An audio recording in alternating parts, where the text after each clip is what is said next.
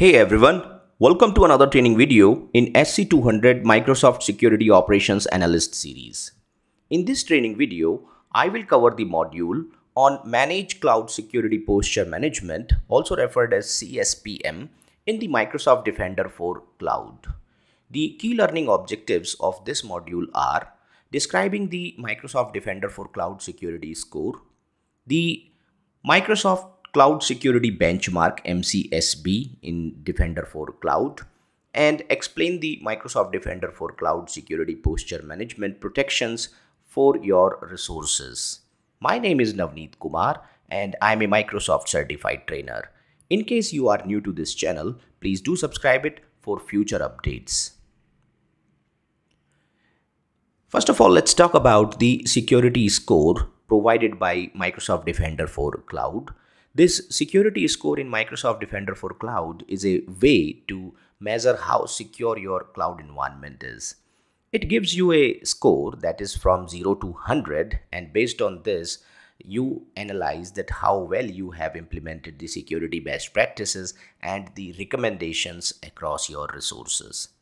The key points to consider in this security score are higher the score better is the security the more recommendations you follow, the higher your score will be. Next is the recommendation. You need to act on the recommendations that are with high severity. You need to decide that these security actions that you take like enabling the firewalls, using the encryption or applying any security patches will increase the security score. Next is the improvement, which helps you identify the areas where your security can be improved and gives you the actionable steps to make your environment safer. You can track the progress. You can track your security score time to time to see how changes that you have made have impacted your overall security score. In a nutshell, the Microsoft Defender for Cloud Security Secure Score helps you the assessment and improvement of the security of your cloud infrastructure by following the recommendations, best practices, and the uh, security score visibility.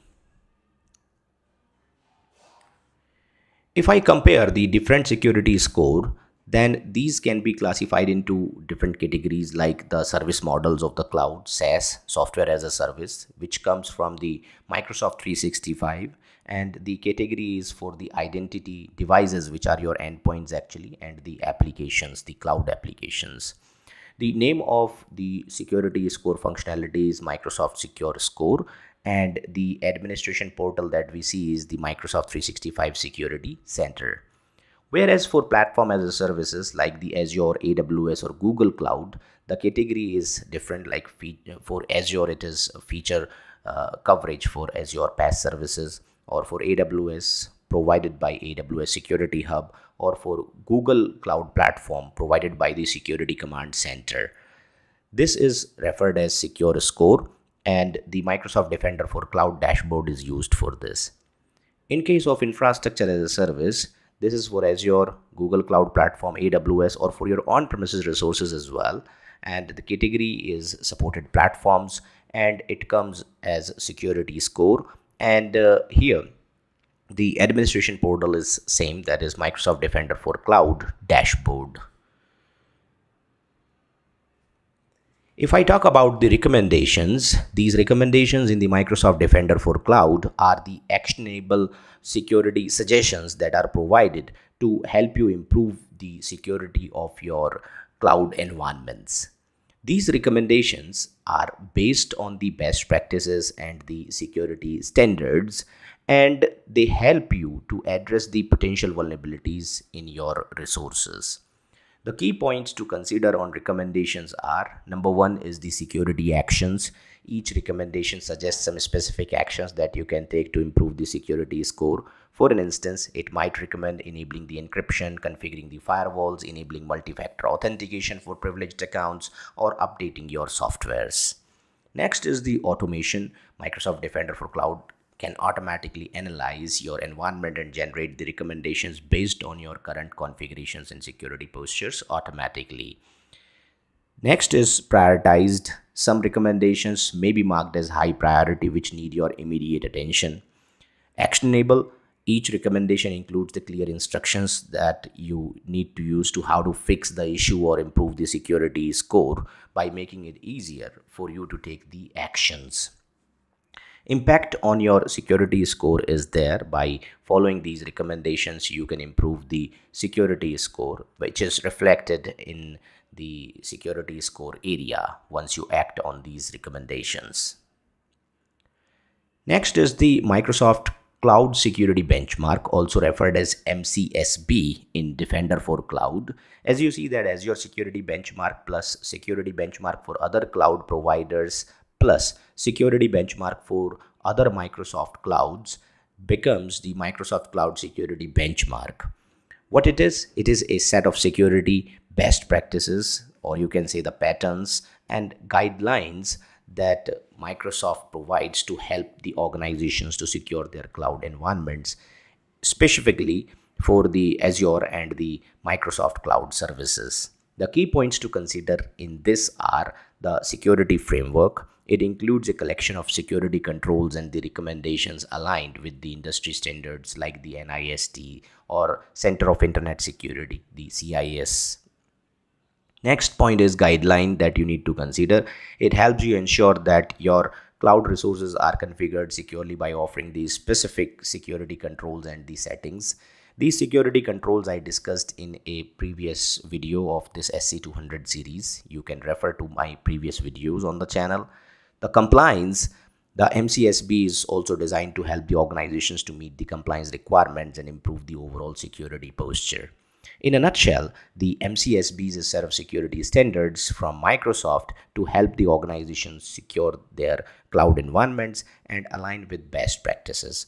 Not only this, but the compliance can also be applied for NIST, CIS, UK officials, or the uh, HIPAA Trust, and PCI DSS kind of compliance you can check for. In the Microsoft Defender for Cloud, the compliance is measured using the Compliance Manager feature and uh, this helps the organizations to assess and manage the compliance with various industry standards like HIPAA, HITRUST, GDPR, ISO 27001, NIST, UK official, etc. The compliance dashboard in the Microsoft Defender for Cloud provides the uh, view of your compliance status across the different regulations and the standards. The dashboard shows you the compliance score and highlights the areas where you may need not be you know meeting the required security or the regulatory controls for the regulatory compliance it can continuously evaluate your environment against the predefined regulatory frameworks like the Center of Internet Security, CIS, NIST, GDPR, ISO, PCI DSS, etc. It checks your security configurations and settings to determine if they align with the rules for each standard or not. It does the assessment and recommendations, shows you the recommendations to act upon these uh, recommendations the Microsoft Defender for Cloud provides these compliance assessments based on the controls that are required by the specific uh, by the specific regulatory framework actually. If we talk about identifying and analyzing the risks across the environment, then we can use the Microsoft Security Graph, which is a graph-based context engine that exists with Microsoft Defender for Cloud. And the Cloud Security Graph collects the data from your multi-cloud environments and other data sources that you have specified. For an instance, the cloud assets, inventory connections, lateral movement possibilities between all these resources, exposure to the internet, permissions, network connections, vulnerabilities, and many more things can be checked by this, uh, uh, this uh, cloud security graph. I will put the reference link for the cloud security graph in the description of this video for your further reference. The attack path analysis in the Microsoft Defender for Cloud is a feature that helps you to identify the potential security vulnerabilities and attack vectors within your cloud environment. The key points to consider in this are like identifying the attack paths, the misconfigurations in case you have any unsecured network ports, weak authentications or misconfigurations uh, um, there, misconfiguration of the permissions maybe permission management is not done properly the vulnerabilities privileges preventions and mitigation is very important uh, key point in this where once the attack paths are identified then the defender for cloud provides the recommendations to fix the vulnerabilities and mitigate the risks like you know improving the access control or patching vulnerabilities or enhancing the security configurations kind of recommendations you can act upon the Cloud Security Explorer in the Defender for Cloud is a tool that is designed specifically to help you gain deeper insights into your cloud environment security posture. It identifies vulnerabilities and understands the security risks at a granular level. It works hand in hand with the features like attack path analysis and security score we discussed earlier to provide the comprehensive visibility and the guidance for strengthening the security. The key points to consider for this uh, cloud security explorer are like interactive security investigations we can do we can uh, have the cloud security explorer to help prioritizing the security risks by highlighting the issues that need immediate attention. We have vulnerability and misconfiguration detections that we can uh, fix. So through this visualization, the cloud of the cloud assets, we can uh, uh, check the cloud security explorer to identify any misconfigurations like any insecure network setting improper role assignment or any exposed endpoints we can check. We can do the integration with the attack path analysis also of this. So this is the cloud security explorer. Let me give an example for this like how i can use it. So let's say uh, i'm concerned about the security of the storage account in azure and uh, using this cloud security explorer i can visualize how the storage account is connected uh, to the other resources and i can analyze its configuration i may also uncover that the storage account has a publicly accessible endpoint or any weak authentication settings in it